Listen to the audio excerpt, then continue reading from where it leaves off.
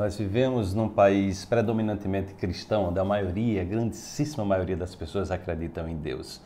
No entanto, a grandíssima maioria das pessoas reclamam da vida. A grandíssima maioria das pessoas não aceitam a vida que têm, não aceitam os pais que têm. É, e aí o que é que acontece? A não aceitação é como se você dissesse, olha, é o seguinte, essa regra que foi criada aí, né?